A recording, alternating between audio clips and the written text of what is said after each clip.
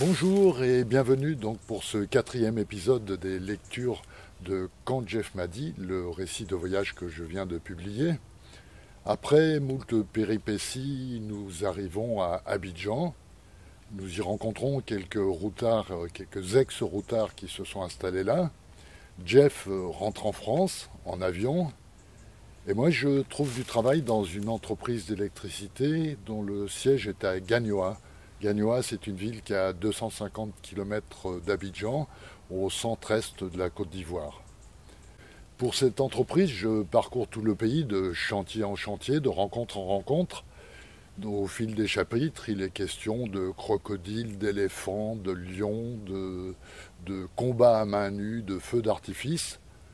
Dans l'extrait du chapitre que je vais vous lire, je suis avec euh, deux ouvriers, Soukouri et Henri, et nous sommes logés dans des cases d'un tout petit village dans le parc national de la Comoé.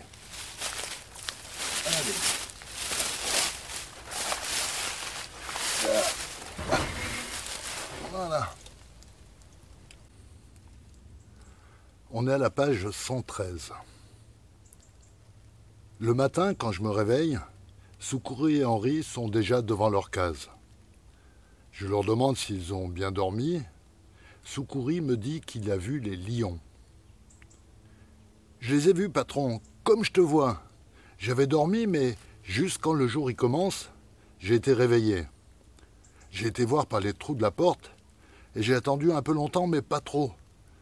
Et puis j'ai vu passer les lions, juste derrière la grande case, en face. J'ai appelé Djekou Henry, il voulait pas venir voir, mais il est venu quand même. Il les a vus aussi. Il y avait deux gros et un petit. Ils marchaient doucement. Moi, j'étais prêt à la bagarre. Mais ils n'ont même pas regardé la case. Tu les as vus, toi, patron?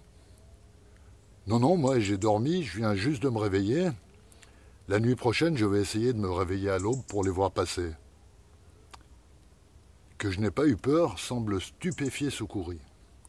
Eh, patron, tu t'en fous la mort, toi? Non, Soukouri, je me dis juste que si les gens qui habitent là sont toujours vivants, c'est que les lions ne s'attaquent pas à ceux qui dorment dans le village. Donc il n'y a pas de raison d'avoir peur. C'est le chemin des lions. Il ne faut pas se mettre sur leur chemin.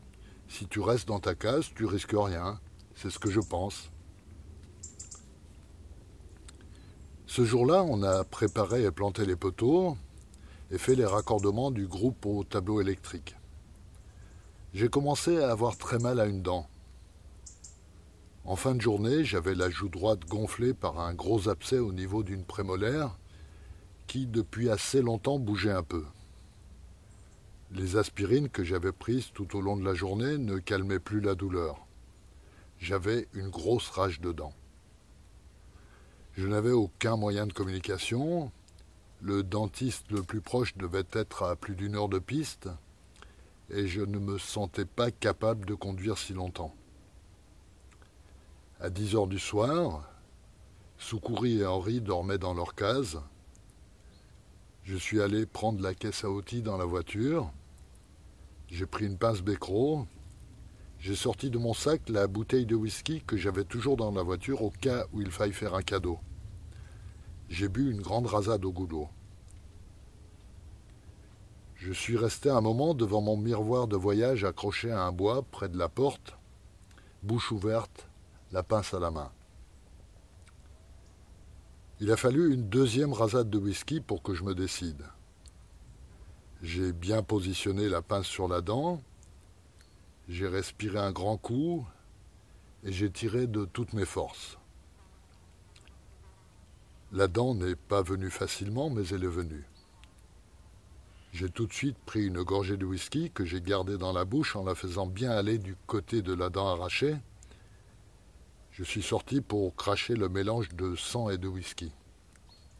J'ai renouvelé l'opération plusieurs fois et j'ai arrêté quand je n'ai recraché que du whisky et qu'il n'y avait plus de sang. J'ai repris une grosse gorgée de whisky que cette fois j'ai avalé avec deux aspirines. Ma joue était dégonflée, la douleur était encore présente, mais c'était bien plus supportable. J'ai eu beaucoup de mal à dormir. Je somnolais par moments. Et quand j'ai vu le jour se lever, je suis allé à la porte regarder entre les planches disjointes. J'ai attendu un quart d'heure et au moment où j'allais abandonner et retourner me coucher, j'ai vu arriver les trois lions. Comme me l'avait dit Soukouri, ils passaient derrière la case du chef, à moins de 50 mètres de moi. C'était incroyable, impressionnant. Leur passage n'a duré que quelques secondes, 10, 20, je ne sais pas, mais je suis resté planté là, derrière les fentes de la porte.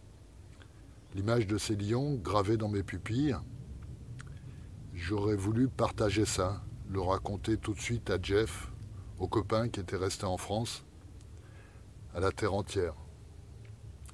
Je n'avais plus mal aux dents, je suis allé m'allonger et je me suis endormi immédiatement.